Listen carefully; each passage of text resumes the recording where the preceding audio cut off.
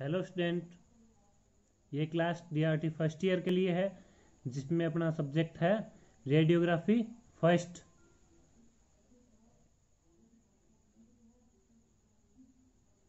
अपना टॉपिक चल रहा है स्कल रेडियोग्राफी जिसमें अपन ने पिछले वीडियो में पढ़े थे स्कल के एपी व्यूज़ तो स्कल का एपी व्यूज़ यानी एपी व्यूज़ को क्या बोलते हैं अपने? फ्रंटो ऑक्सीपेटल व्यू सेकंड था अपना स्कल का AP view with thirty degree caudal angle जिसको अपने क्या बोलते हैं? टाउन्स व्यू ये इसका स्पेशल नेम है।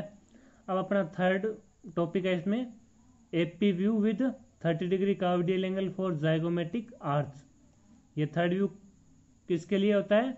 जाइगोमेटिक आर्च के लिए, यानी अपनी जाइगोमेटिक बोन होती है उसके लिए। तो दो व्यू अपन ने पिछले वीडियो में पढ़ लिए थे, इस बार अपने पढ़ेंगे तीसरा व्यू जाइगोमेटिक आर्च के लिए।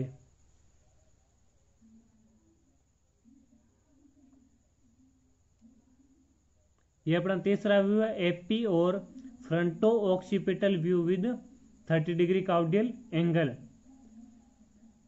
सबसे पहले पढ़ते अपने इसका इंडिकेशन इंडिकेशन क्या होगा? फॉर ओनली जाइगोमेटिक आर्च ये व्यू किस लिए होता है? जाइगोमेटिक आर्च के लिए, यानी जाइगोमेटिक बोन को देखने के लिए। कैसेट साइज़ इसमें रहता है? आठ, दस और दस, बारह का।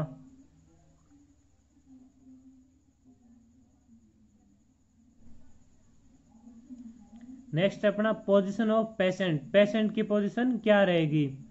Patient supine on X-ray table in true AP position patient table पर एपी पोजीशन में बिल्कुल सीधा लेटेगा।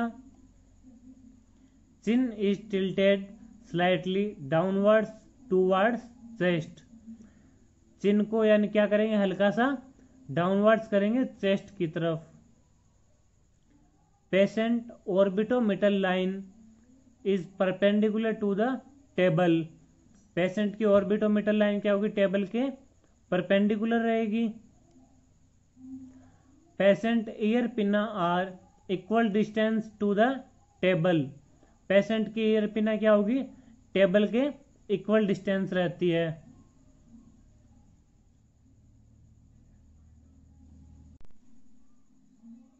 नेक्स्ट है अपने patient middle sagittal plane perpendicular to the table patient का मिडल सोसाइटल प्लेन क्या होगा टेबल के परपेंडिकुलर होगा पेशेंट इंट्रा ऑर्बिटल लाइन और intra pupillary line are parallel to the table patient की इंट्रा ऑर्बिटल और इंट्रा प्यूपिलरी लाइन टेबल के parallel रहेगी। Immobilize the head by non radio opaque pads and sandbag head को अपने non radio opaque और pads की सहायता से स्थिर करेंगे।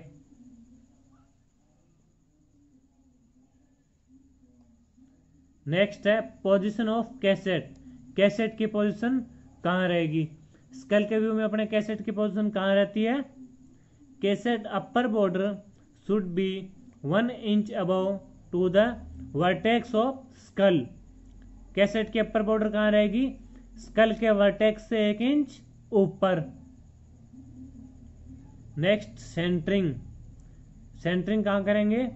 Central ray over the line at the intra orbital with tube angle 30 degree to the feet central ray अपनी कहाँ रहेगी? इंट्रा ऑर्बिटल लाइन की, जो मिड पॉइंट में यानी मिड लाइन पे एकदम बीच में विद ट्यूब एंगल ट्यूब में कितना एंगल देंगे? 30 degree towards the feet feet की तरफ़ 30 डिग्री का एंगल देंगे। इस एंगल को अपने क्या बोलते हैं? काउडियल एंगल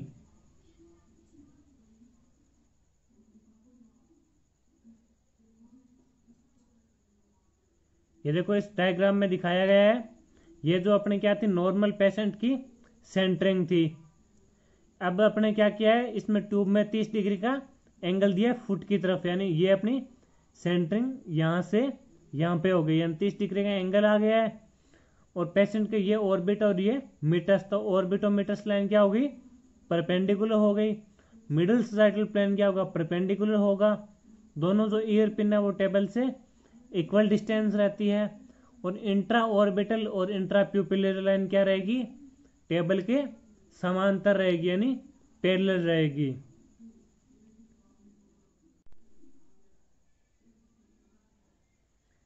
नेक्स्ट है, रेडियोलॉजिकल अपीरियंस रेडियोलॉजिकल अपीरियंस क्या होगा? The occipital bone is clearly seen.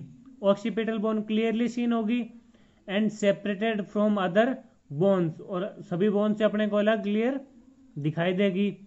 Foramen magnum is clearly visible with petrous portion of temporal bones either side of it foramen magnum अपने क्या होता है?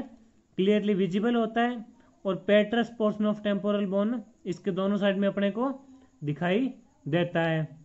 जाइगोमेटिक आर्च इज़ विजिबल जो अपने zygomatic arch है, जिसको अपने देखने के लिए व्यू किया है, वो भी अपने क्लियरली विजिबल हो जाती है।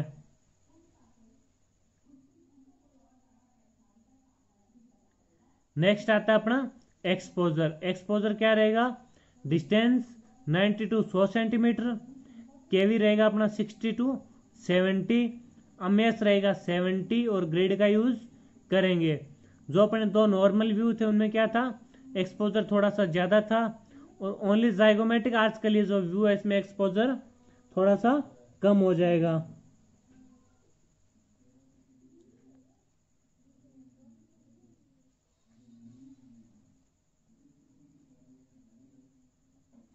ये देखो अपने को ये फ़िल्म दिखाई गई है जिसमें क्या है?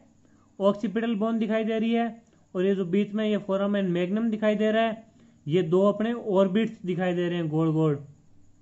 और इन ऑर्बिट्स के पास में ये कौन सी बोन होती है?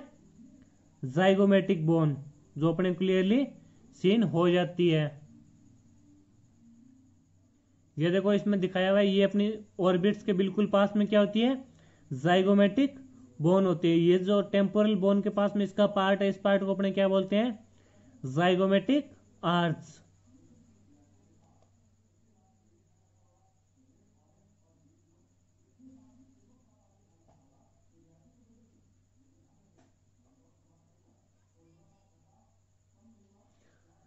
अब स्टूडेंट्स अपने इन तीनों व्यू का एक बार रिवीजन कर लेते हैं। आप ऐसे इंडेक्स बना के भी इसको आसानी से याद कर सकते हो।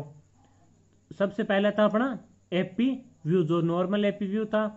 सेकंड था अपना AP view with thirty degree caudal angle यानी फुट की तरफ़ एंगल था, जिसको अपने क्या बोलते हैं? टाउन्स व्यू थर्ड था अपना AP view with thirty degree caudal angle for zygomatic arch ये किसके लिए था? जाइगोमेटिक आर्ट्स के लिए। इनमें इंडिकेशंस क्या थी? ट्रोमा केस के लिए होता है।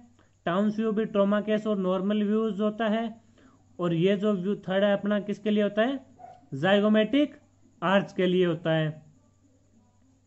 कैसेट साइज़ आठ, दस और दस बारह यूज़ करते हैं अपने तीनों व्यू में, यानी स्कल के सभी व्यू में अपने कैसेट साइज़ आठ, दस और दस बारह ही यूज़ में लेंगे। थर्ड आती है अपनी पोजीशन ऑफ़ कैसेट कैसेट की पोजीशन क्या रहेगी? तो कैसेट की पोजीशन कहाँ पे रहती है? Cassette upper border should be one inch above to the vertex of skull cassette की अपर बॉर्डर कहाँ रहती है? स्कल के वर्टेक्स से एक इंच ऊपर. इसमें अपने बात कर लेते हैं पेशेंट की पोजीशन की. पेशेंट की पोजीशन क्या रहेगी? तो पेशेंट की पोजीशन क्या रहती है? सबसे पहले पेशेंट को टेबल पर लेटाते हैं। तो patient supine on the X-ray table in true AP position उसके बाद पेशेंट का मिडल साइटल प्लेन क्या होता है? टेबल के परपेंडिकुलर होता है। तो patient middle sagittal plane is perpendicular to the table next क्या होगा? Patient ear pinna are equal distance to the table patient की जो दोनों ईयर पिन है, वो टेबल से इक्वल डिस्टेंस पर रहेगी। Patient orbitomeatal line is perpendicular to the table. Patient की जो ऑर्बिटोमिटल लाइन है वो टेबल से परपेंडिकुलर रहती है और पेशेंट की इंट्रा ऑर्बिटल लाइन या इंट्रा प्यूपिलरी लाइन क्या रहेगी? टेबल के समांतर रहेगी। पेशेंट इंट्रा ऑर्बिटल और intra pupillary line are parallel to the table. Last आता है अपना। हेड को स्थिर रखने के लिए क्या करते हैं? हेड क्लैंप का या सैंडबैग का, या नॉन रेडियो ओपेक्स का पेड्स का अपने यूज़ में लेते हैं। तो immobilize the head should be non radio opaque pads and sandbag इसके बाद आती है अपनी सेंटरिंग तो सेंटरिंग कहा थी अपन के सारे व्यू में? Central ray over the mid point of intra orbital line at right angle to the film centering कहाँ पे होती है? इंट्रा ऑर्बिटल लाइन के मिड पॉइंट पे। तो फ़र्स्ट में ये अपनी नॉर्मल सेंटरिंग थी, इसमें कोई भी एंगल नहीं था। सेकेंड टाउन व्यू था, उसमें अपना थर्टी डिग्री काउडियल एंगल था। और थर्ड क्या था? इंट्रा ऑर्बिटल लाइन के मिड पॉइंट पे सेंटरिंग की ओर 30 डिग्री काउडियल एंगल दिया था। इसके बाद अपने बात करेंगे एक्सपोजर की। तो एक्सपोजर इसमें कितना रखेंगे? केवी सेवेंटी टू एट्टी और एम एस भी एट्टी टाउन व्यू में कितना रखते हैं? केवी सेवेंटी टू एट्टी और एम एस एट्टी और जाइगोमेटिक आर्च वाले व्यू में कितना रखेंगे? एक्सपोजर थोड़ा सा कम करेंगे। तो कैवी कितना हो जाएगा? सिक्सटी टू सेवेंटी और अमेस कितना हो जाएगा? सेवेंटी इन सभी में अपने ग्रिड का यूज़ करेंगे। और डिस्टेंस कितने रखते हैं इन सभी में? नाइन्टी टू सौ सेंटीमीटर। ये अपने स्कल के एपी व्यू तीनों हो गए।